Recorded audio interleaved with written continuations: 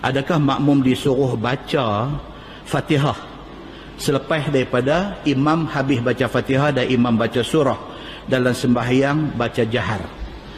Sembahyang subuh sembahyang maghrib sembahyang isyak bila imam sembahyang takbir Allahu Akbar kita pun takbir Allahu Akbar. Imam baca doa iftitah kita baca doa iftitah. Imam baca Fatihah kita dengar.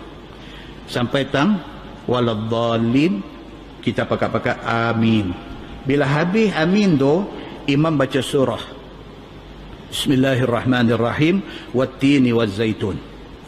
Adakah kita makmum ni disuruh baca Fatihah ketika imam duk baca surah At-Tin? Itu perbincangan dia. Dan kita dah baca satu hadis daripada Abi Hurairah. Dia ada dua hadis bulan lepas. Ni saya flashback balik supaya kita dapat gambaran dia Hadis yang pertama Abu Hurairah kata anna Rasulullah sallallahu alaihi wasallam insarafa min salah. Nabi habis daripada sembahyang Nabi beralih kepada makmum di belakang. Sembahyang eh, jahara bihabil qiraah yang makmum di belakang tu tadi masa Nabi duk baca surah dia duk baca Quran terah di belakang. Nabi beralih. Nabi kata hal qara'a ma'i ahadun minkum anifan. Nabi kata siapa tadi waktu aku habis baca Fatihah, aku baca surah, dia pun duk baca juga di belakang. Siapa tadi? Nabi kata Faqala rajul na'am ya Rasulullah. Satu orang sahabat kata ya, betul ya Rasulullah.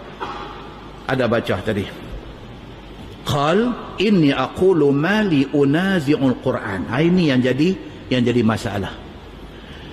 Nabi kata pasal apa hampa duk lawan baca Quran dengan aku?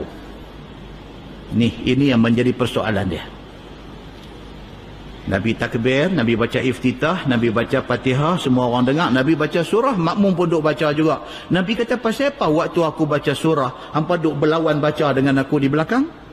Pasal apa? Mafhum cakap Nabi itu, faham cakap Nabi itu, Nabi tak bagi baca apa. Nabi suruh dengar dia baca surah. Itu faham dia. Qal kata Abu Hurairah fantahan nas anil qira'ah ma Rasulillah sallallahu alaihi wasallam fi ma jahara fihi Rasulullah sallallahu alaihi wasallam min as-salawat bil qira'ah. Oleh kerana Nabi tegur macam tu, start pada Nabi tegur tu sahabat-sahabat Nabi bila Nabi baca Fatihah depa dengar, bila Nabi baca surah depa dengar, depa pun tak baca Fatihah.